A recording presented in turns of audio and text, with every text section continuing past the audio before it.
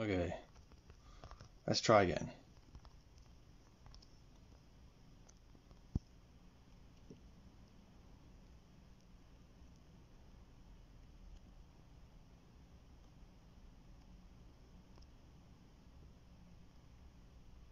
Hello, hello.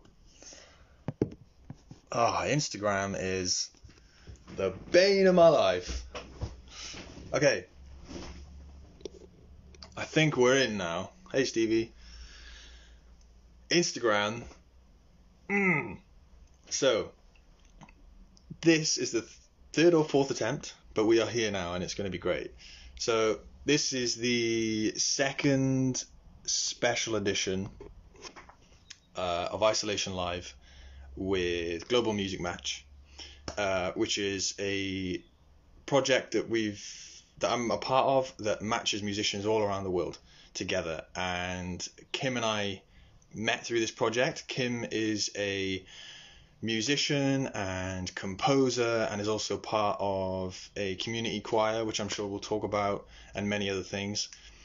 Um, yeah, so I'm going to be talking to Kim today. She's from Scotland, and I believe she has just unboxed a new iPhone to be able to do this, which is awesome. So we're taking a maiden voyage on a new iPhone with this Instagram Live. So let's get Kim in here.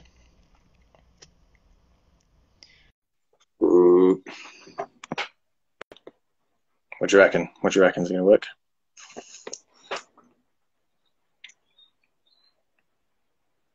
Says waiting for Kim Edgar Music. Yes! oh my god. Streaming into modern technology. Here I am. I've never been so pleased to see somebody's face. Coincidentally, you know, it appears my phone is around six years too old. Oh, just, oh my god! Don't even get me started. oh, Stevie, Stevie, hi Stevie. Yeah, fairy lights in the cabin, always good. Here we go. I have a virtual. Guess what I've got here, Kim? Is that a Tunnock's caramel wafer? Oh yes! Oh, And I have a virtual gift for you. Welsh cakes. Oh, I'll just grab them now. If you could just pass those over, thanks so much. Mmm, yummy. I'll save these for later. They are actually. I'm gonna have to take them back off you because I'm gonna show you. Oh. Because I was trying to explain them before, wasn't I? And I just I couldn't explain them. They're the greatest thing on earth. See, ah, very thin. Yeah, like a kind of flat scone, but much better than a scone. perfect for learning about fractions. I'd say. Oh yeah, I don't know why that's on there. They're not normal. That's that's a really good idea. I can just say I'm doing my maths. They, uh, but yeah. So have one of them at some point. Excellent. Look forward to that. so how's your week been so far?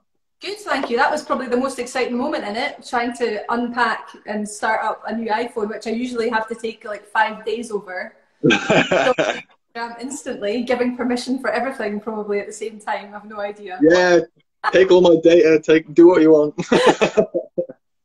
But yeah, it's been was-. Thank you. What Good. yeah, it's been all right. Oh, what? Uh, it's Wednesday, isn't it? Yeah. Uh, I have no idea. I think it's been good. Yeah, nothing, nothing. It's. I just forget what's happened once it's happened. I'm terrible like that. Shocking. Yeah. So what have you been doing today? So far, um, I've been, well, drinking cold tea currently, watching the daily coronavirus briefing from the First Minister of Scotland, which comes on every day at 12.15. Really? Oh, that's quite. Uh, that's quite on it. It's, it's brilliant, actually. She's such a good communicator, and I think is really trying to keep everybody on board and really does kind of positivity as a way forward, which I think is very helpful in this current situation. So that's that's part of my daily routine at the moment is watching her briefing. Yeah, because down here, every so often, um, they show parts of her broadcast, and she always just seems so on it, and so like, this is what we're going to do, very clear and concise, and that's great. It's every day. Yeah, she's she's she's really clear, so it's, it's very helpful, I think. Thank God for that. I'm glad someone is. my local area went down into uh, lockdown yesterday evening. Oh, right. Yeah, so yeah, but it's uh, it's quite a large area around here, so Okay. it's all good. But Yeah, kind of there's no travel restrictions here at the moment, but the the latest kind of added restriction is you can't visit anybody in their own home now. So ah, okay, yeah, yeah, for seeing family and stuff. So yeah. Oh well, screw all that. let's talk about music. Let's talk music. So, oh, I don't want to jump straight into it, but I kind of do. You've have you finished, or are you working on the end parts of a new album? I hear. I have finished the new album. Yeah. So it was mastered on the second of September. I've literally just finished the artwork this past week, which Nice. I'm, um, well, I've not finished it. My designer's finished it. I'm really pleased with how it's looking as well as how it's sounding. Um, so I'm just at that kind of yeah, I- waiting for the manufacture to begin, and uh, once I've got it in my firmly in my hand, then I'm going to be setting my release date, which I'm hoping is going to be early December. Oh, that's cool. Are you doing when you say manufacturer? Are you doing CDs? You're doing what are you doing? Yeah, so I'm, I will have digital distribution um, through CD Baby, and I also have distribution through Proper Music for kind of. Okay. Um, but yes, I very much. I'm a very kind of tactile person. I like to have a lyric booklet and all that kind of thing. And and I think quite a lot of people um, who tend to buy my albums are a bit like that as well, kind of paper fiends. So uh, yes, I'm manufacturing actual physical copies as well. Yes, that's great. Yeah, I love having a physical, like having a booklet and all the writing and the photos and all that sort of thing. And are you going to be selling that through your website when it's out, or is it you've got store? Yes, it'll be available through my website. I'm just about this is this week's job is setting up all the kind of pre-ordering stuff on my website. So I'm hoping to have that all in place for the end of the month. Um, uh, so it should all be there. Fingers crossed if I do my It, it, get some help from my web designer. I think. it, it doesn't stop when you finish recording, does it? no, no. But I mean, uh, to be fair, I feel it's this is quite a nice period because I'm I'm really happy with um, like had such amazing contributions from from musicians who were involved in the process of making the album, and especially because it, it kind of should have happened in April. Um, and it was delayed, and then there was kind of no possibility of recording. So I was so grateful when it did become possible to go to a recording studio again in Scotland that I was able to reschedule. And even um, a couple of singer songwriters who I totally love here in Scotland. I don't know if you'll know them, um, Karine Polwart and Rachel Sermanni. They both No. recorded, so they both recorded from their own homes at a point when it wasn't possible to do anything else, um, so that we could sing in three-part harmony, which was something I was really, really hoping oh, sweet. especially through this period of lockdown, just to try and feel connected with other people. And for me, group singing is one of those things that really gives you that sense of connection with other people. So I was just really, yeah, chuffed everybody went out of their way to make things work. And we had a totally socially distanced uh, recording experience in Castle Sound, which is a beautiful studio up here in Pencaitland in Scotland. Um, so it's, yeah, the whole process was lovely, but it feels really nice now because all the work is done. Yeah. You know, And now just a, a different kind of work begins. yeah, yeah, but that's fine. That feels. And like CD Baby, like Stevie's just said here, she's commented saying uh, CD Baby are great. They're so good. Yeah, I've, I found them to be excellent. I actually have had digital distribution through Proper previously, and then also with CD Baby, and I've been really pleased with how CD Baby works. So, um, Yeah. Yeah, looking forward to doing that again. Yeah, I did my first two or three releases through them, and I remember maybe the first one, I, it was just I didn't know what I was doing, and and I rang them up, and obviously they they're based in uh, like North America somewhere, aren't they? Yeah, West Yeah, in Oregon, Portland. And I rang them up weird time of night and they were so helpful and so friendly. They're yeah, they're great. Yeah. Got, there's a question here for you. If I can get the ah, it says, Will you be releasing it on vinyl? no immediate plans for that. I've never done that before, but if enough people would ask me, I'd certainly consider it. I do have. I wonder if I can just tip this round. Yeah.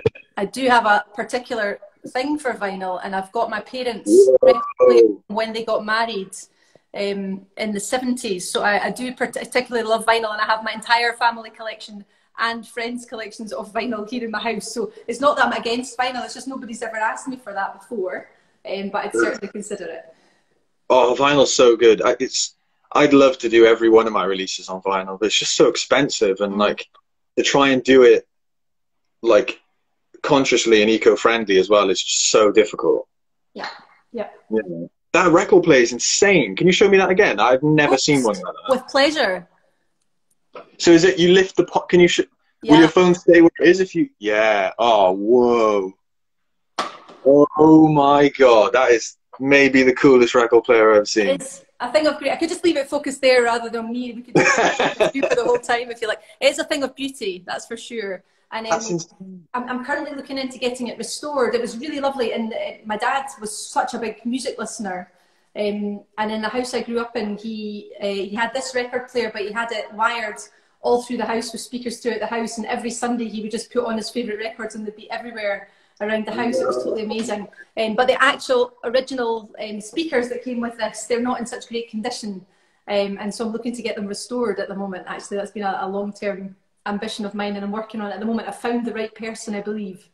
So. Oh man, I that is just so cool. Is it like it looks kind of seventies? Is it seventies? Yeah, yeah. Yeah. Oh, amazing, man. Yeah, I've got a, I've got a seventies record player. Not quite as cool as yours. I'll show you. Screw it. it's uh, I don't know if you'll be able to see it actually. Let me turn the camera around. And uh, but the same thing. My speakers are cool, nice very 70s, like wooden on the sides and yeah, gorgeous. Not quite as space age as yours, but those, those are the speakers, and they're they're a bit iffy at the moment too. But uh, yeah, oh cool man, I got I got record player envy. That's pretty sweet. I think we got another question for you. Okay. Uh, oh, it was Graham asking about the vinyl. He says, "I ah. tell." um, I was going to ask you because you were talking about singing as a group and how like, like I totally agree that I, I'm one of those people that I cry very easily and if there's a lot of people singing the same thing at once I just I just crumble like a cheap biscuit I'm I'm I'm just I just burst into tears like but, um, perhaps I don't know no, no. These, these, are quality goods, Kim. Don't be flagging up cakes. but I was uh, wanted to talk a little bit about the Freedom of Mind Choir and and uh, what it is and, and what you guys do and. Um, well, it's a community choir. It was originally formed as part of a, a, a, pilot for a mental health association in Falkirk, which is in the centre of Scotland, Central Belt. Um, and it, it, it was a, a pilot to see if group singing could really enhance people's mental and emotional well-being and it, it, was a great success. And ultimately, the, the organisation weren't keen to carry on kind of long term work, but it's been a weekly choir, and we became an independent community choir. Um, now, is it a year past? I'm really rubbish with time. It's either a year ago or two years ago, past April. Um, but we've been going, I think, for four four years or so before that as the pilot. Um, and it's a fantastic group. But basically, that's the whole point. It's an inclusive choir for anybody who wants to feel good, and, and we use singing as a way of improving mental health and, and general well-being. Um, and for me, that's I just think music's such a powerful tool um, for for social benefit, and and it's kind of my passion when I'm home, when I'm not touring, and when I'm not writing, to do work in communities that that that uses music um, to bring social benefit. And for me, group singing is like win-win. I love doing it. Feels great fun to do it. I remember myself how exciting it was to be a member of a choir when I first joined a choir and to share that kind of joy. I also share the leading with another lady called Mariette Dallas, who's super. So it's a lovely sort of co-led group. Um, and, and a fascinating group of people who are participating, including loads of creative people who write their own poetry, stories, songs. Um, so we make our own material. There's lots of in- instrumentalists in the group as well. So oh, amazing. It's a, it's a great, great um, community resource, I think, and I, and I love being a part of it. Um, obviously, it's been a challenge with um, the pandemic, but we kind of have moved vaguely online. So a combination of kind of YouTube sessions, and now we're doing also Zoom kind of singing sessions together. And we had one outdoor meet, although it's not looking super hopeful that that's going to be practical in the in the short term. Um,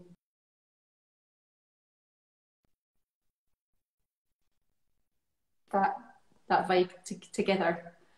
That's great. That's so great. Because I was talking to, a, I've spoken to a few friends over the past few months, uh, um, all musicians, and they were kind of saying at the beginning of everything, like six months ago, that they kind of felt uh, that you know they they didn't they were looking at people who were kind of working on the front line as it were and like doing other things that were maybe more obviously and immediately helping people and felt a bit kind of at odds with being a musician or an artist or something feeling like they couldn't really contribute in some way or they felt a bit a little bit useless for for lack of a better word not being able to, to do something as obvious as making somebody physically feel better Sure. but but this is exactly kind of what I said, but but better that it's so powerful music and like what we can do and then take people out of a space that they're stuck in Mhm. and and and just completely change their mental environment is such a huge thing and I, like I think it's a um, a huge privilege but also like a huge responsibility that we have that, that's kind of like a a little bit of a superpower I think that we, we're able to do that for people you know Yeah, I mean, I, I- I feel like I felt exactly the same. You know, it's it's a very small contribution you feel that you can make in comparison with saving lives and, and you know preventing disasters and, and and also taking responsibility that politicians have had to really step up. I don't envy them at all in the in the current climate. Um, but yeah, I feel like for me anyway, music and particularly songs are all about connection. And I felt very strongly the impact of a, a feeling of a lack of connection um, through lockdown and I, and I think then what, whatever we can do whether whether that's in kind of in group settings or whether it's as individual artists I feel like at least we have a small offering to make and, and we're, we're blessed in many ways that music can still be shared online even if not in person you know um, because for me it's such a powerful experience in my life how I have felt connected to others when I've heard a song that really touched me. And, I, and I think that's a that's a you know it's a unique thing about music that it can take you back to a place or to people it can really like get you here. Um, and I think that's you know yep you know I, I definitely feel I'm hardly doing anything to help compared to so many other people who you know all the key workers who are keeping things going. But you do what you can and, and what I've got is songs kind of thing. So try and make them as useful as you can. Yeah, absolutely. And even if one of those songs that you make or you guys sing or whatever, you, you don't know who's listening to it and you don't know who's whose, you know, day it's made better or whatever, you know. That's it. It can be a spirit lifter, but I think even as well, like um, it's now been shown scientifically that you know the act of kind of breathing in sync with other people to join in something, even if you're joining in an online session, hearing other voices with you, it's like calming. It's good for your physical health. It's good for your mental health. There's such a buzz, and I really hope we can get back to singing in a room together in the not too distant future because I think that really is a special thing. Um, and I'd be with you. It makes me cry a lot as well. oh, I'm terrible. Just talking about it's making me feel emotional. but like, uh, oh man, yeah, like when we finally get to be in a room or even outside together, and even if we're not kind of all singing together, if there's a band or an artist on stage and everyone's just like shoulder to shoulder in a venue again, oh my god, it's gonna be like. Just thinking about it, you know, it's gonna be it's gonna be such a mad experience having that again yeah. and being being in a being in a room with like like-minded people again it's just going to be yeah I think I've always I've always felt really grateful that this is this is like the life that I have and that I've been able to maintain kind of thing. It's such a privilege to, to get to do that, to be like, you know, to be performing on a stage and have a room full of people with you or, you know, sing in a group and, and be surrounded by music in that way. And um, I think it, I think I already really realised how special that was as a life, but you know, you see it even more sharply when when it's not possible. You know, and Yeah. really, I think everybody appreciates all the you know all the benefits that music has brought to us as individuals and, and as a society as well. You really you really feel that loss when it's not happening. So I think Yeah. most. Hugely, yeah. I, I've I've missed it. In the in the first few months, I must admit, it was nice to have a break from from you know going out and doing shows and driving long distances and doing all of that, and then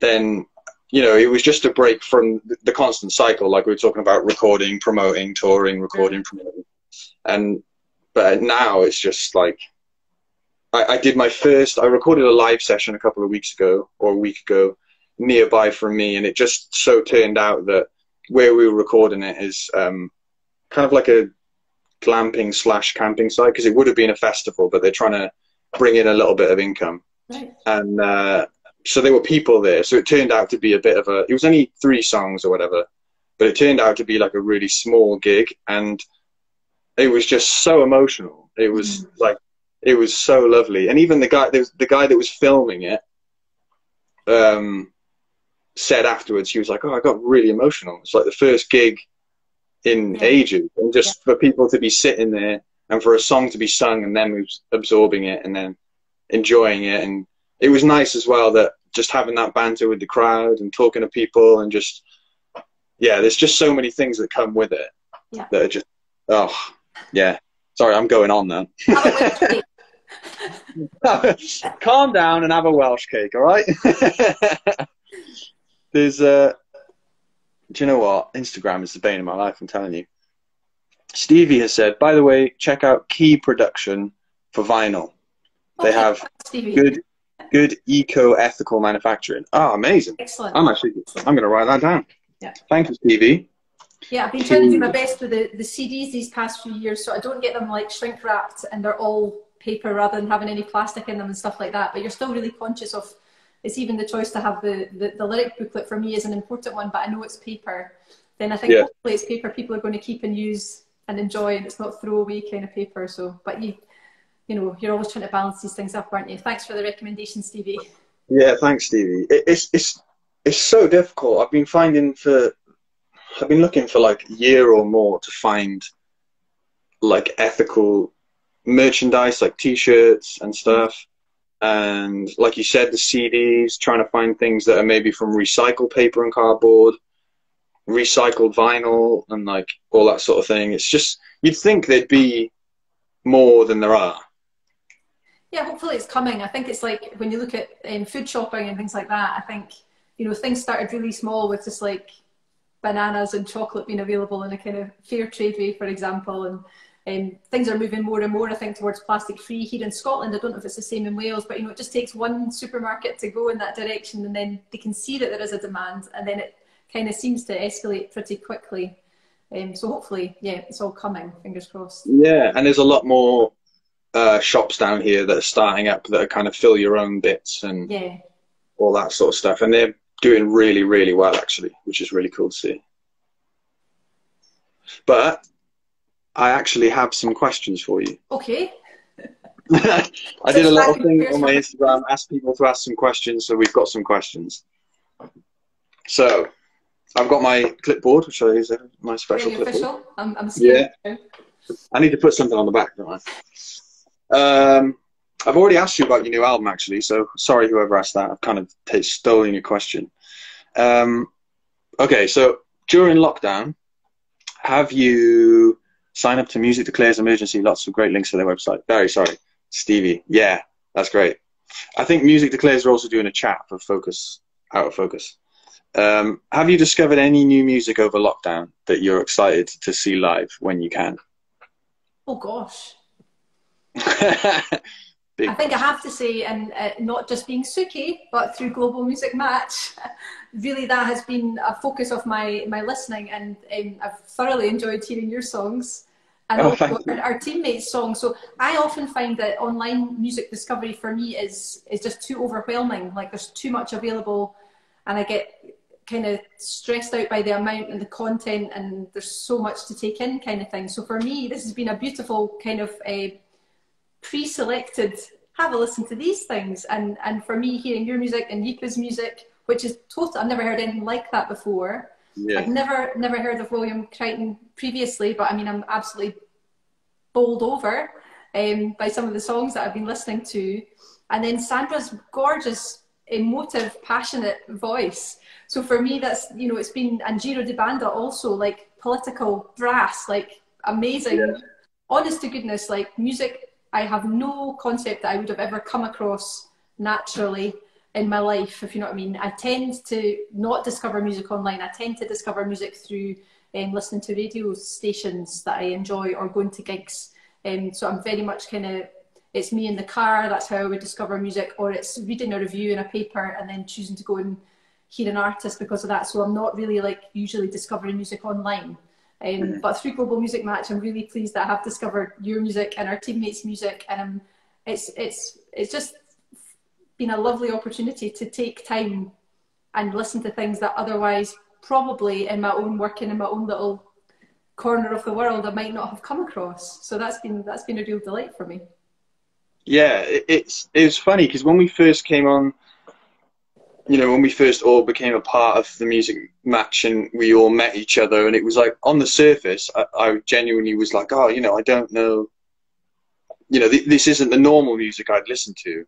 Yeah. And, and, and like, how's that going to work? And am I going to enjoy it? And all that sort of thing. And then just by delving into it and speaking to everybody in our group and getting to know everybody across the platform and all that sort of thing, it's been so great like you realize how funneled you are and what you listen to and you uh, like I listen to a lot of Spotify and I listen to right. the same playlists and the same types of people and then on Bandcamp I'm always clicking on the same genres and everything so been really cool whereas I'm just putting a CD in the CD player my own collection on iTunes so I mean like really I would listen almost uh, quite obsessively and exclusively to people like Anais Mitchell I absolutely love Anais Mitchell Joni Mitchell, Tori Amos, Karine Polwart, and you know Elbow, for example, The Killers. But it's like over and over and over again. That's I would listen to music that I, I love at home, and I wouldn't be trying to discover new stuff. Um, so for me, yeah, it's been it's been fantastic. And and I think the other thing is, I really am Uh, I don't think I'm that genre specific in my listening. It's more like if I come across something and I, and I love it. So for me, it's been great because I, I really feel like there's you know, irrespective of what genre the music is, I think you can always find um, connections to your own experience and your own passions, kind of thing, in different kinds of music. Um, so for yeah. me, I've loved the kind of diversity of our group. Actually, it's been it's been great. It's actually really it's been really good. Yeah, and I agree. I, that's what I found also that is uh, that was interesting. That finding correlations between my own taste in music and myself personally and everything in all these different genres that I would have never expected it to find it. Yeah. Which has been really nice. And then chatting to everybody and having common ground with everybody, even though, you know, we're all over the shop and we're doing different things and living in different worlds really. Yeah, it's quite heartening. Been... It's quite heartening to have chats and, and discover, you know, we, we're all, you know, we're all going through a similar experience, not the same experience, but you know, we're we're in a in a similar situation at the moment. And it really is lovely to have that sense of community with new people as well as people who've been in your community already. Yeah, yeah, and and seeing that the community is so massive as well. Yeah. You get so you think about your own little area so much, and uh, yeah, it's been wicked. We, are just we're rambling now. We are. but that's a good answer. Thank you. Uh, okay, this is a funny one. So either the the best, like your favorite, or weirdest live show slash touring memory? Best show, like attended. No, so like kind of your your top memory of playing live, either that or like the weirdest experience you've had playing a live show. Okay. It's really hard to choose, actually. Really, really hard. That's a tough question. Um, I played, I think one that springs to mind immediately for, for performing was I, I played with Karine Polwart in the Roundhouse in London um, and with uh, King Creosote. So there was a point where I was in a band called the Burns Unit and it was a collective that came out of a, a project and there was basically seven songwriters and a drummer and we were a big, messy kind of carnivalesque mixture. And again, it was a selection of songwriters working in all different genres of music. So it was super fun. Um, but out of that, um, that was great you know, I, I, was really excited to be selected to take part in that project.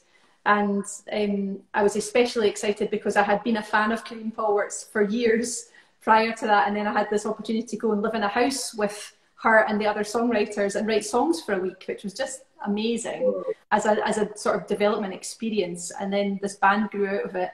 And ultimately, I ended up making piano arrangements for Karine's traditional album, The Fairest Floo'er, and co-writing a few songs with her as well as doing the, the Burns Unit stuff.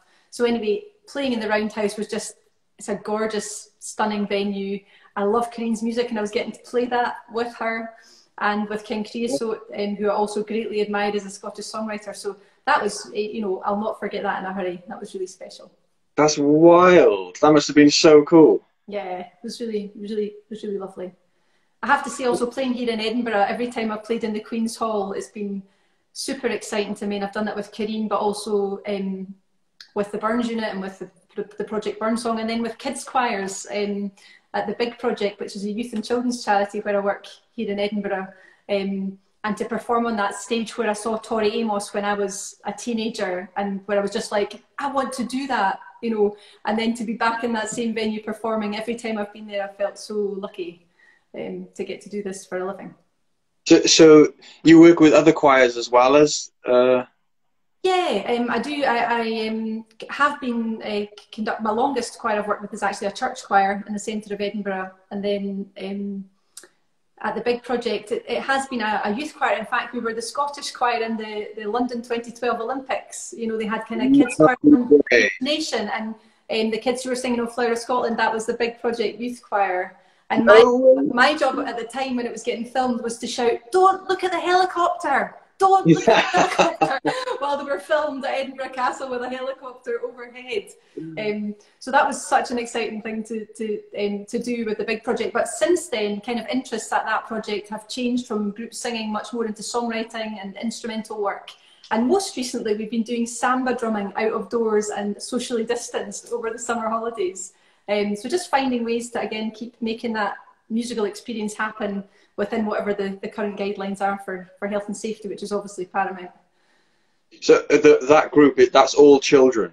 Yeah, so the, the, the, charity, the big project, works with 5 to 18 year olds who live in Broomhouse, which is an area of multiple deprivation in Edinburgh. Um, and the big project do much, much more than that. Um, but I'm involved in, in delivering the musical aspect of, of what the big project do there. And it's all, again, it's a social agenda. It's having fun, feeling good about yourself, you know, uh, broadening your, your horizons and kind of raising your aspirations for the future. That's what we're really hoping for. And music's a great tool, but there's lots of other great tools for that too. Drama, outdoor experiences, used to be camping, things like that that will hopefully come back. That's so great. Yeah, and it's those those um those like kind of affirming experiences as a young kid, especially if you're going through something that's a bit rough or anything that like really stay with you. Completely. No matter whether you continue doing that thing at an older age yeah. it really makes such a massive difference. Feeling feeling part of a small community and other people that are experiencing the same thing or or something like that is just is priceless and awesome. I, I, I did um I did karate for tw- 20 no 14, 15 years when I was a kid, and uh, then finished when I went to university. But that's like stuck with me. So many lessons that you learn doing things like that are so transferable, even just like the disciplinary parts of it, or like self discipline and. Uh, just working hard and, and learning new skills and using your brain in a new way. It's like, it's so priceless. Totally, totally. Hell yeah. Okay, so, well, you've mentioned two amazing venues, but one of the questions was dream venue to play. And like, we're talking worldwide, no COVID, screw oh. that, just anything.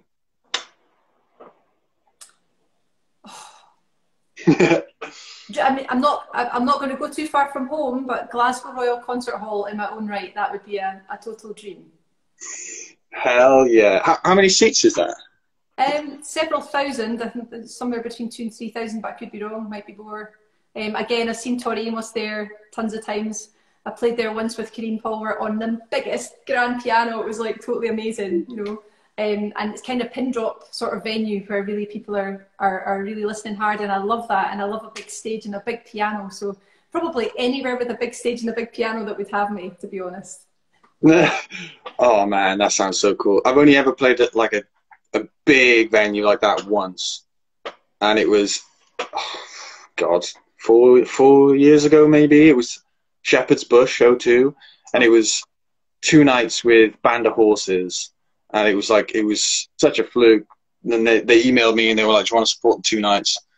And it was just like it's a whole other experience, isn't it? Going from like hundreds to thousands. Yeah, yeah. And it's yeah, I just yes, and unbelievable.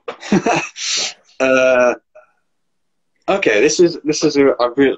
How long we got? Oh, we're, we're we're cutting close. So we'll make this the last question. I think this is a nice one to end on. Okay. Is one positive thing that you've kind of realized in you in the past six months, whether it be personally or something you've noticed or I've realised that I am making songs because that's my way of connecting with people and that that's what I still want to keep doing. I think the clarity of that has really come across to me strongly since the lockdown and it's good to know exactly what I'm about and what I'm trying to do. So that feels pretty good. That's fucking awesome. Um, I'm allowed to swear because that is awesome. that's so. Uh, people search their whole life for their purpose, and that, that's really cool, man. Cheers. Don't make me cry now. Give me a Welsh. oh my god. Okay. Woo. Okay, we're good. We're all good. Just think of something funny. but um, Kim, it's been an absolute pleasure. Thank you so much for unboxing your new iPhone and getting on here and making I'll the be- effort to I'll be. I'll be uncontactable for the next few weeks while I work out how to actually transfer things from the old phone to the new phone. So don't phone me. Anyone, don't phone me. Yeah, Kim is off grid for two weeks, man. Thanks a lot, Dan. Thanks for the lovely questions. no, no problem. Genuinely, thank you. It's been lovely. So, and uh, well, I'll, I'll speak to you later this week. Yeah. See you soon. Take care. All right, take care, Kim. Bye. Bye. All right. That was Kim Edgar, uh, composer, singer, songwriter, um, musician, and lovely human being. And uh, thank you very much to Kim for chatting to me, and thank you, Global Music Match, for putting us in touch. Uh, I'll do the usual thing, and I'll post this video to my Instagram TV and to my wall and stuff. I'll download it, put it on YouTube if you want to watch it back or share it. And thank you, you guys, for watching as always and commenting and chatting and stuff. So, uh, thank you, Susie. And I will see you guys. Actually, I've got another one tomorrow. I'm talking tomorrow with Martyn Joseph, the singer songwriter and founder of Let Yourself Foundation. So, tomorrow, same place, 6 p.m uh, I'll be chatting with Martyn. So thank you very much, guys. I will have a great day and I will see you soon.